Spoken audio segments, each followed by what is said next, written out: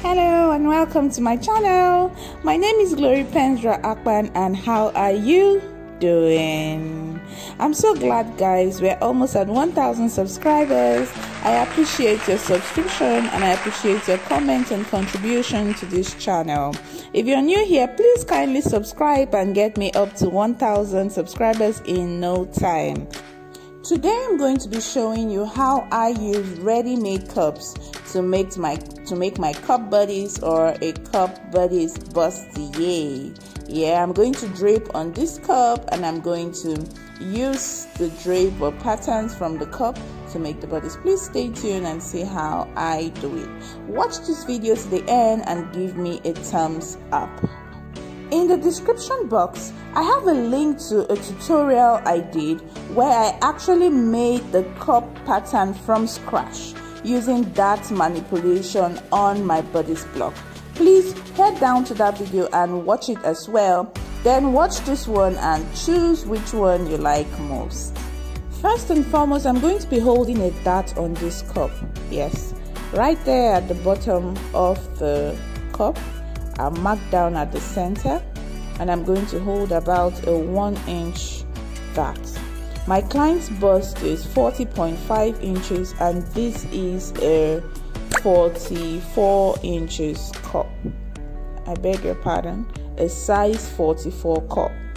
So I'm going to roll down at the center so I can position my darts So I have my dart in place and the length of this dart is 2.5 inches. Notice how cuppy the cup now looks because of the dart that has been held there. So now we proceed. I'm going to um, drop my cup on the brown paper and that line or the edge of the paper there will represent the center front line. So from the edge of the paper here, I'm going to be marking 0.5 inch inwards. So I'll mark 0.5 inches inwards all the way down and using my ruler I'm going to connect these points in a straight line. Okay, so we've positioned our cup and now we're going to be marking out our measurements.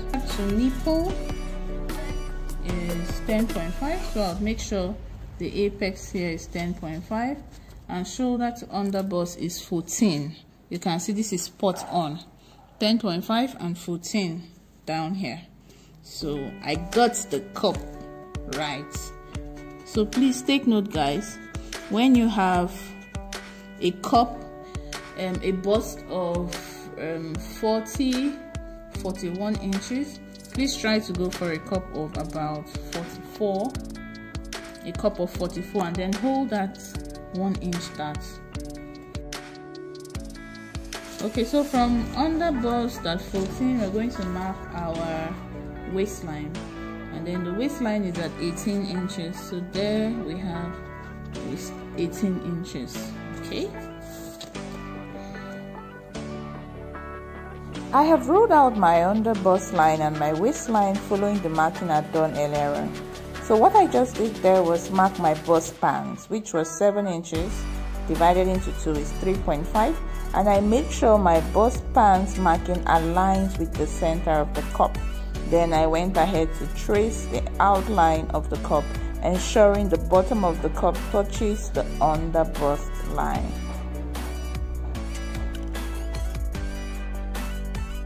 That's our top right there. Um, am I okay with this shape? Or do I want it to go higher?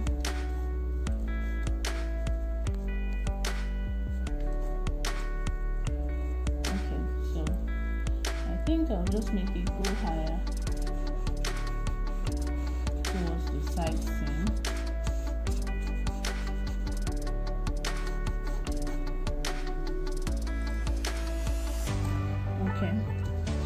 pardon. Come close. Alright, so we're not going to be working with this. We won't work with this anymore. I'd rather work with this. Right? So there we go. so from there now I'm going to rule out okay so this is the you can hear my baby crying in the background so I'll take a break and go attend to her now. I'm back so we're going to do a quick recap. So I placed my cup and I made it um, slightly higher tilted higher towards the side there right? And then I connected the line going outwards towards the side seams. So coming towards the center front now, I'm going to connect from the edge of the cup there out to the center front line, just like so. Okay. So I took another short break to attend to baby and by the time I got back, my toddler has um, done her scribbles on the pattern so I had to use paper tape to mark those to hide it all right so I'm going to be imputing my measurement so we have to bring back our breast cup. So I'll put the breast cup on the pattern because we're going to be taking our measurements over the breast cup.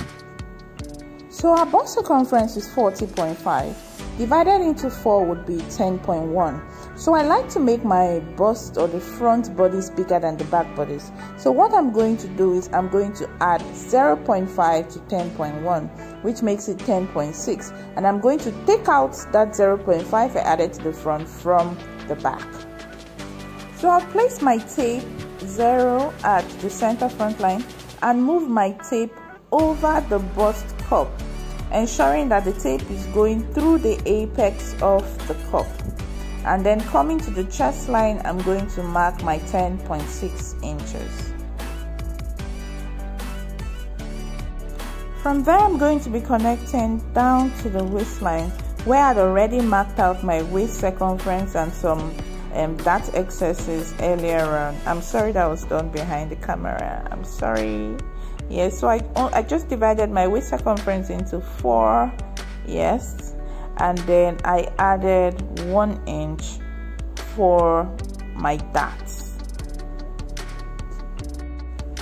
so I'm going to be imputing my darts right now. So I'm going to mark out my bust pants on the waistline and on the under bust line.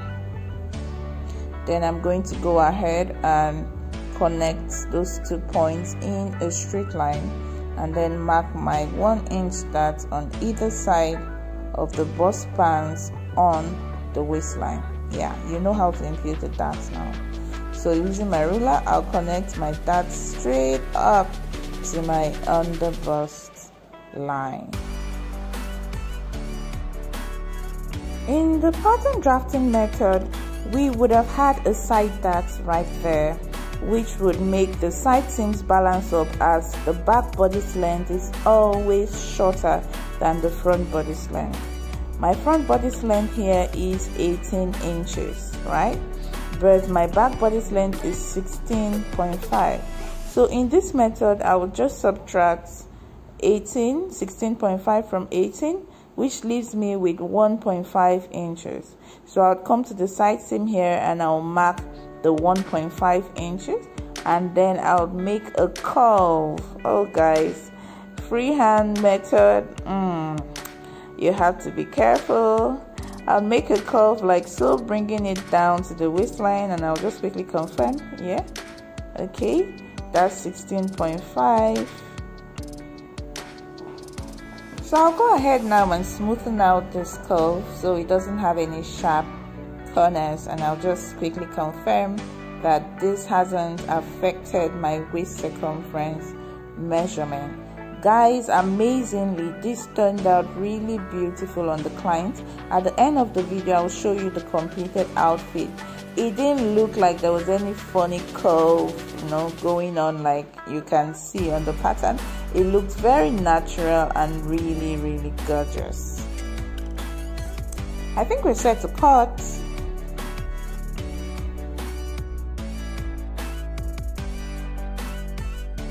I added one inch sewing allowance on the side and I continued my cutting.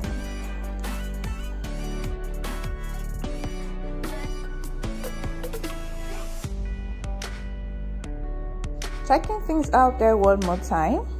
it looks okay and then I'll label center front and side seam and arrow so I'm not confused and there we have it the front pattern is set so we're going to be drafting the back bodice now. Now remember our bust circumference was 40.5 we divided that into 4 and we got 10.1 now I took out 0.5 from the back and I added that to the front to give the front 10.6 so it means we are left with 9.6 at the back. Hope there is no confusion here. It should have been 10.1 I took out 0.5 from 10.1 to add to the front which made the front 10.6 there therefore I have 9.6 left at the back. Now I take my side pattern from the front and align it with the markings there just as you can see me do so the side seams of the front and the back can align. I'm going to connect the points just as you can see. So I'll come towards the edge of my paper here which is going to represent my center back and mark 16.5 as well then I'll connect the points so I can have a straight line. So nicely label the center back so you're not confused. Now coming to the waistline my waist circumference is 8.5 inches. That is after dividing into 4 and I'm going to use 0.5 to contour the center back. So from the edge of the paper down to the marking you can see there yeah to that point is 0.5 and then from there I marked my 8.5 inches. Then I'll use a ruler connecting from 8.5 markings upwards just as you can see. And I would also connect from the 0.5 marking upwards to contour the center back. So it's time to cut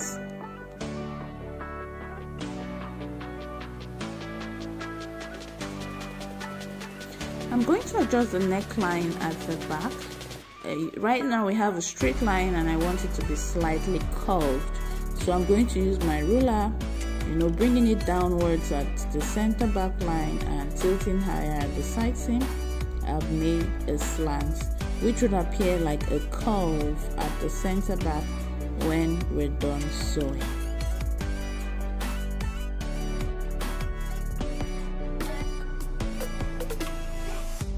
Ignore the paper tape there you see towards the side seam. That was because I forgot to impute the 1 inch sewing allowance on the side so I had to stick paper to do that.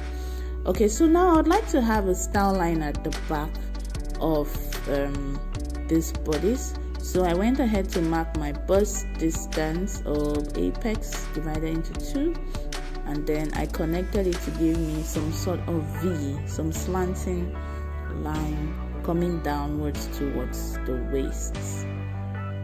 So I'm going to cut now. So arrows so we know where the neckline is. So there you have it, the front and the back pattern. So I've cut out our fabrics as you can see. I am using the same fabric to line. It's a satin fabric so as you can see for the center back piece there I have four pieces um, cut out and then the side um, back I have four pieces as well cut out and I'm going to be um, putting lace on it you know just to make it beautiful. Okay guys I'm so sorry about what's how the view is right now. I was really exhausted when I came back to complete this project and I had no idea that in trying to position my camera at an angle which I thought was appropriate had changed the view to um, a portrait instead of um, landscape. I'm so sorry. So we are ready to drape our cup. Just stay focused, guys. I'm sorry. Very soon, um, this segment would be over and we'll go back to the normal viewing. So yeah, my fabric has been placed on bias there, as you can see. Um, we need a bias um, cut to um, freely drape or stretch our fabric around this cup which is what I have there right now. Yeah, yeah. okay so what I'm doing I've placed my fabric on the cup and I'm going to be pinning the fabric to the cup while pulling the fabric round. I'm pulling it round till the fabric lies smoothly on the cup. So watch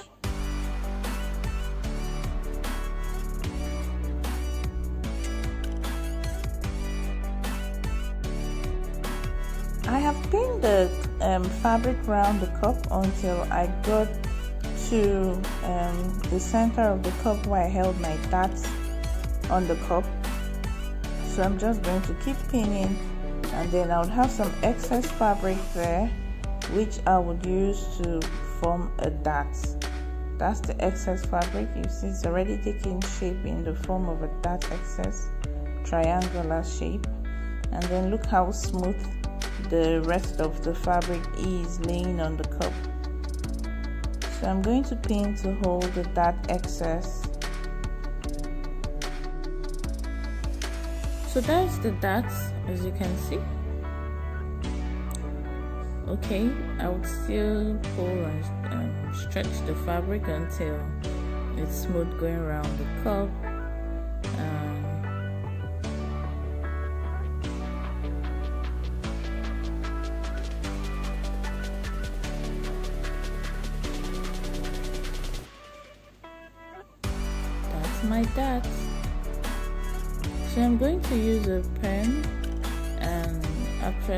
trace out this dart once I'm done cutting the excess fabric I have around the cup.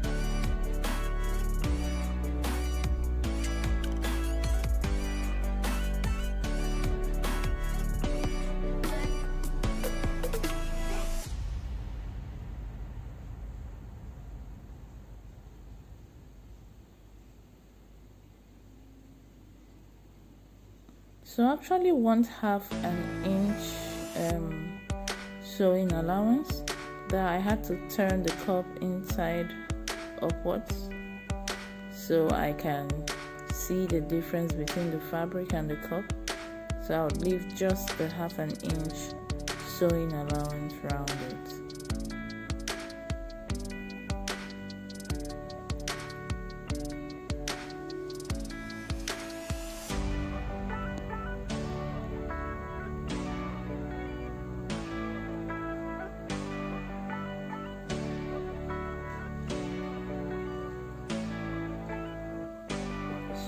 my marker to mark the dots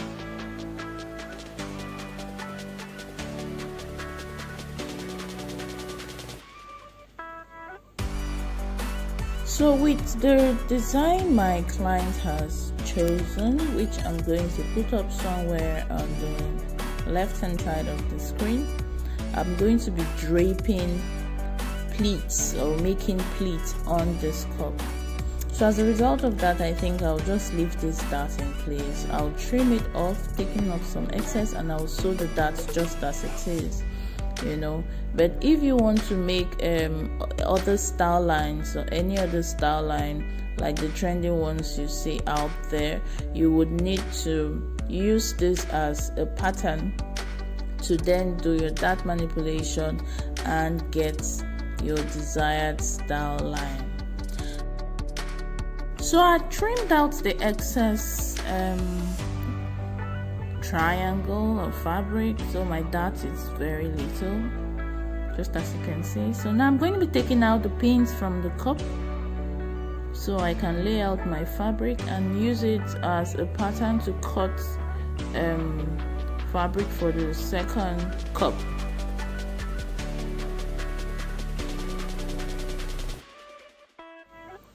So this is what it looks like. You can see the darts there. Yeah. the legs of the darts are kind of curvy. See the curve right there. So we're going to use this to put um, the fabric for the second um, cup. Please take note the fabric was placed on bias so you can see my dart has been sewn. And then I placed the fabric one more time over the cup stretched pull and pinned it on the cup. So now my cup is prepared and ready. You can see how smooth it is. Um, so I'll just go ahead and make pleats on this cup because that's the style. If it weren't you would have to make a style line going across like so.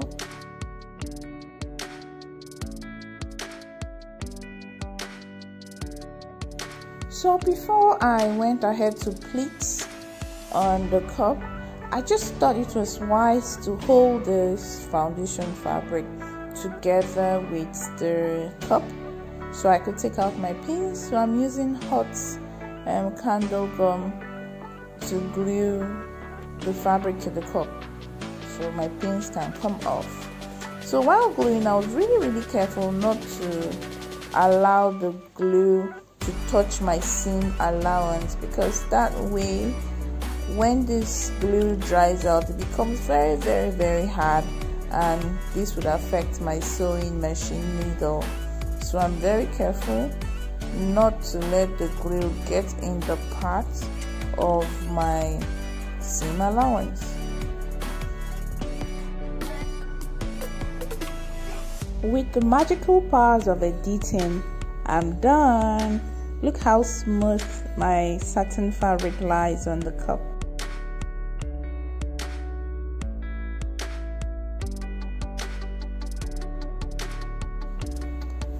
so I have joined my side seams all my panels and I have boned these bodice. I have pleated on my cups as you can see and I lined it as well on the wrong side and we're done. I just wanted to take a look at my boning. These days I'm so crazy about it like where have you bones been all my life you know? So once again check out our cup. So this saves you the time of drafting pattern but to be very honest i think drafting pattern and making my own cups i feel is the best you know.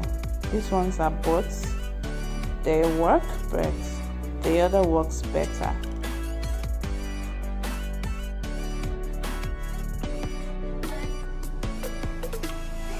So here the dress is finished and I thought to come show off the finishing of this garment but you know the zip is okay it's coming down now.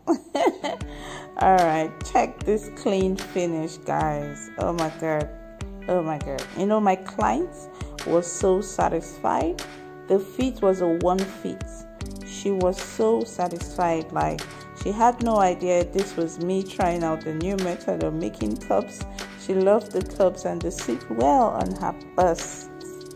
Please kindly subscribe, like and share this video with others. God bless you and see you soon.